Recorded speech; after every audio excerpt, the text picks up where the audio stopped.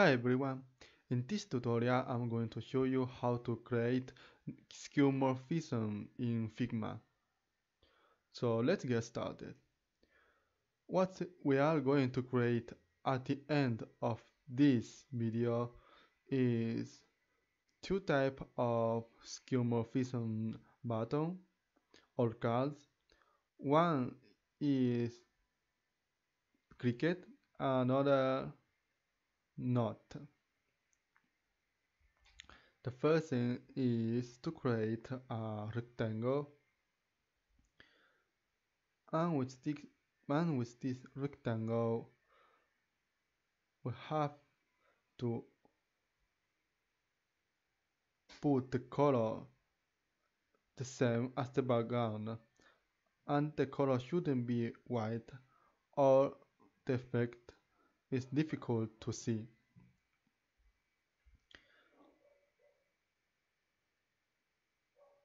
The first button that we are going to create is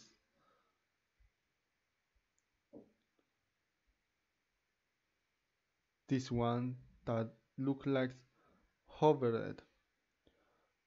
So to do that we are going to the right panel go to the effects section and add inner shadows.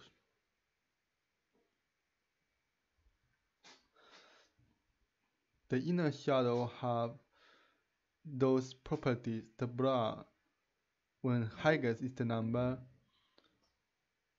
more blur it become. So it become more diffuse.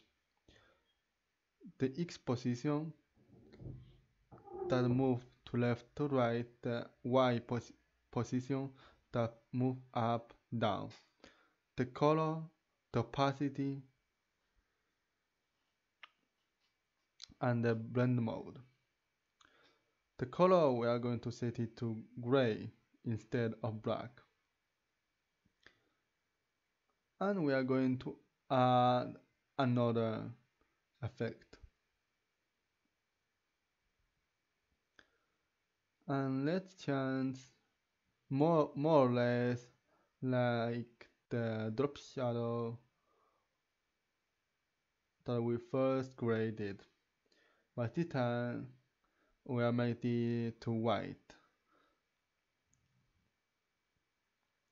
Set the value as I set so it look like a 3D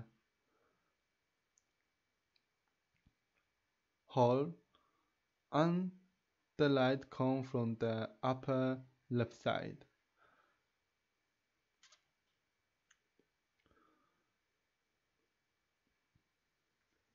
So we are going to add some blur and also change the color to gray.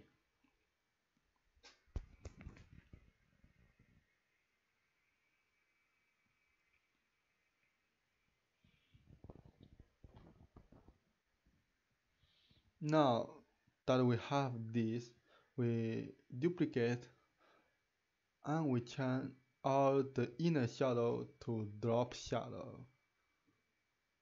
and we create the second type of skeuomorphism.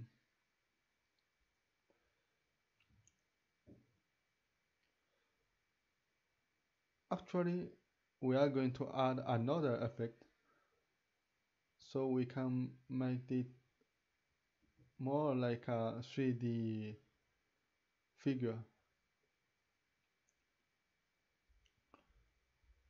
Okay, set this to that. Let's check the difference. As you can see, the white become more intense.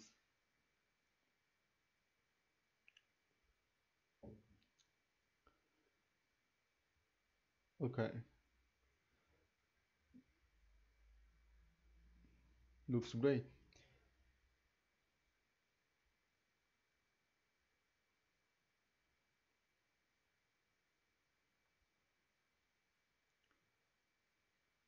Now that we have created them, you can copy and paste them and rearrange them and use them as you want.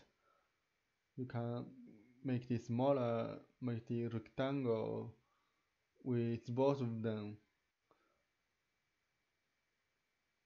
so this is all. Thank you for watching. See you in the next video